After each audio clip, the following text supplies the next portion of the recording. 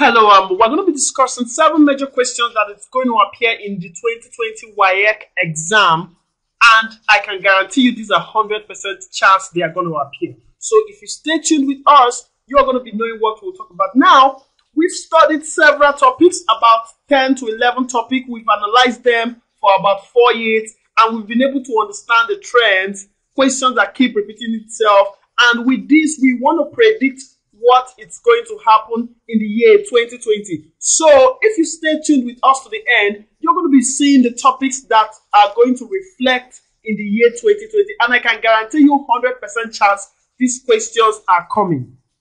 Okay, so um, if this is your first time of coming to this channel or you think we are doing something that is good, please hit the subscribe button and also click the bell beside it and select all notifications so that when we release these videos, you can get updates so that you can stay updated with any info we release. And also, don't forget to like the video. Don't forget to share the video. Okay, so the question one we're going to be talking about is graph, and these are the several graphs. Now, I want you to know that from the inception of WAEC questions, graph is an every year question. It's short. It's a crime not to, uh, to go into the exam hall without your French curve or your broom to draw your curve. Now, graph is one of the most consistent questions for the past 20. If we check an average of 20 years, and I can guarantee you in every year, a graph question actually came up. And there are four major graphs. One, you're going to be plotting about two of it. Now, there's a quadratic graph, there's a sine and cosine graph, there's a cumulative frequency graph, and there is a, um, okay, the last one is supposed to be um, an inequality graph.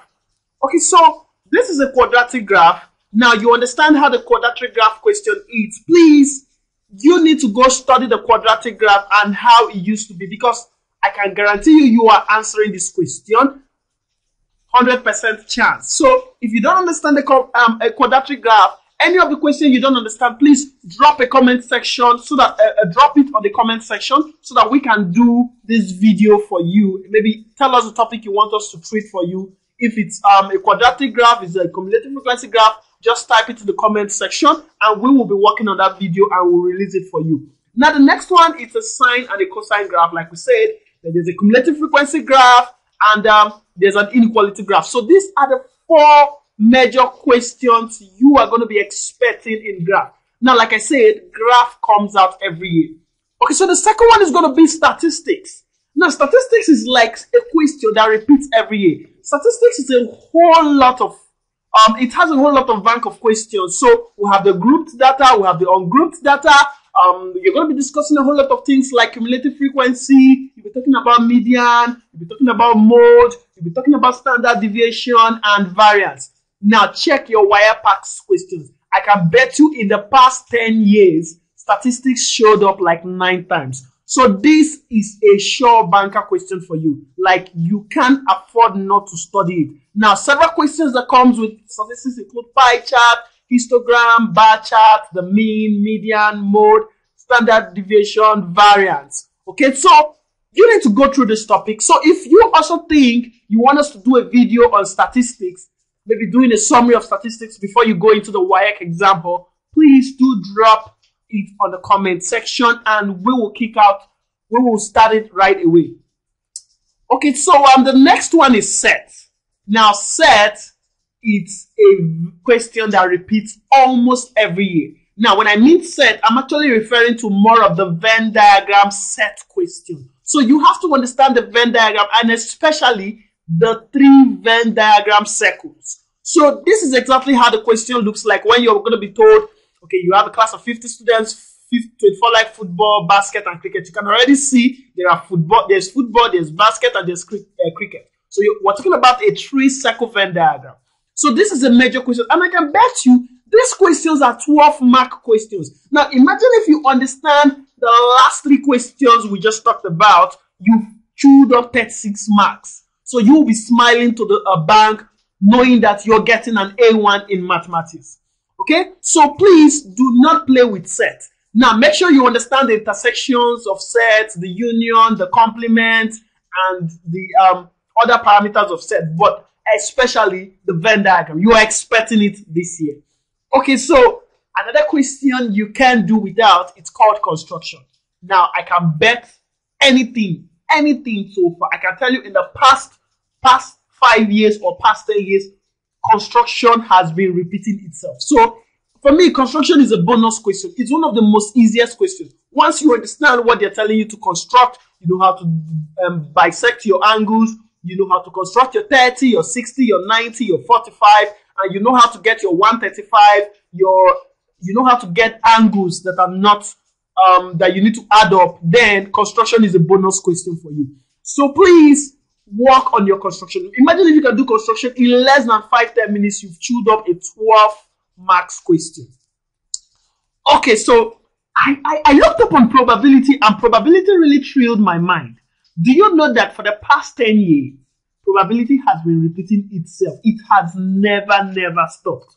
So this is a sure question for the um, WAEC maths question um, 2020. I can bet with anything, um, with all my studies in the university, that probability it's coming this year. So please take your time, get to understand the probability question. We have questions like um, um, the balls question with replacement and without replacement.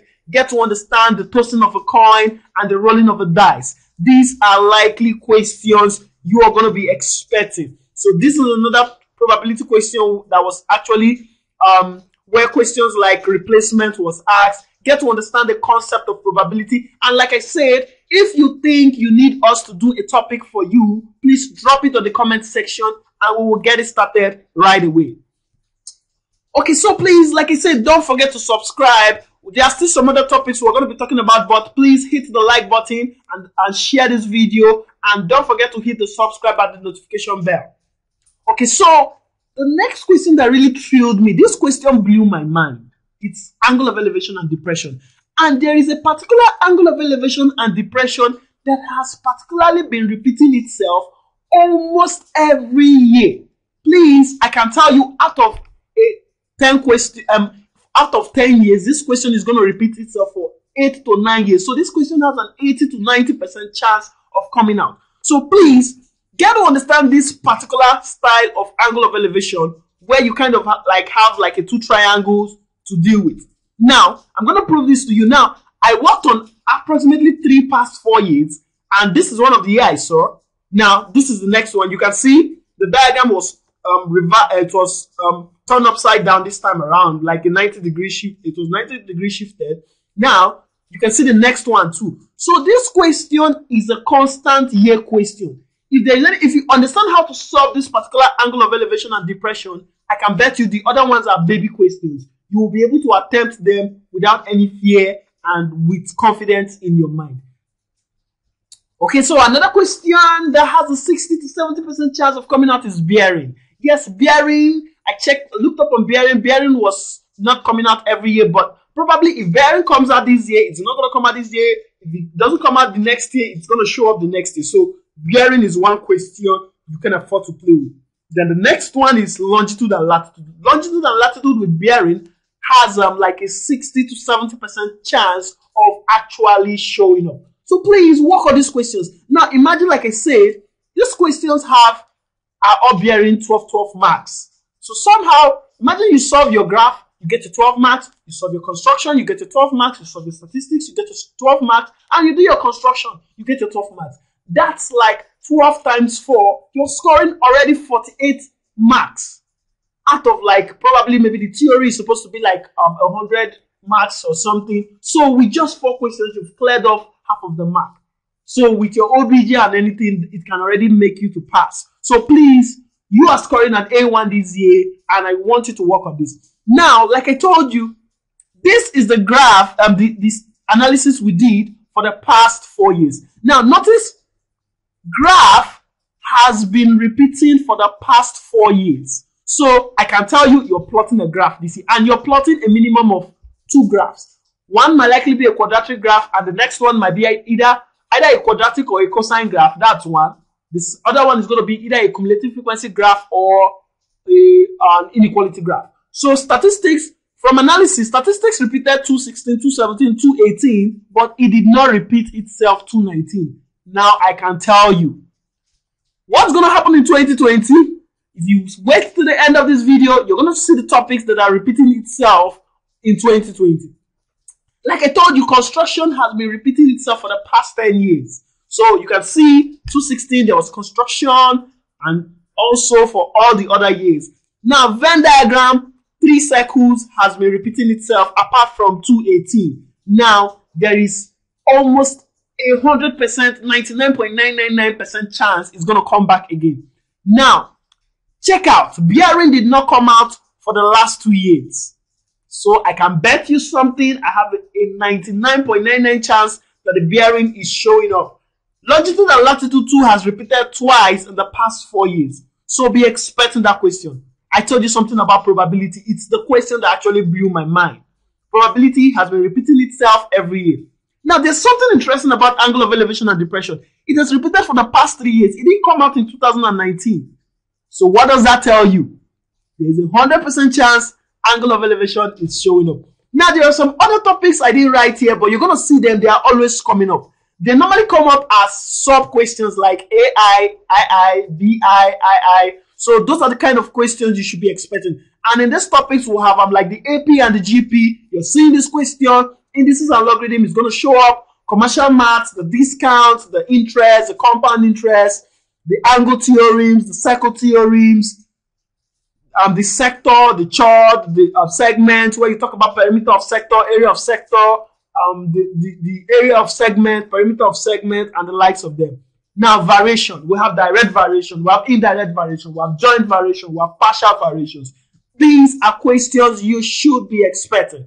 Now, we have the um, solid shapes, which includes the cone, the cylinders, the frustrums, where you're being asked to calculate either the surface area, um, the perimeters, or the, uh, or, or, the, or the volumes of these shapes. So you need to have all these things at your fingertips. Okay, so um, we've talked about commercial maths. Now, that takes us into our 2020 prediction for WAEC question maths. Now, graph, yes, graph, it's coming out. Statistics question, it didn't show up last year. I can tell you it's coming out. Construction question, yes, it's coming out. Venn diagram, I have an 80 to 90% chance it's going to show up. Bearing and longitude has a 60% chance of actually showing up. Um, now, probability question, yet it's going to show up. Angle of elevation, AP and GP, indices and logarithm, commercial maths, angle theorem, sector, chart, segment, variations. These are questions you're going to be writing. So it is wise you go through this topic. Now, like I said, if you are having any challenge with any of this topic, drop it on the comment section. Tell us the topic that you're having issues with. And like a flashing of light, we are going to create a video teaching you this particular topic. Now, like I said, if you have not hit the like button, if you think we just did something that will impress, that just impressed you, please hit the like button. Um, please don't forget to subscribe and click the bell. And also, don't forget to share these videos with your friends so that everybody can make A1 and we all will be happy. So thank you and stay tuned.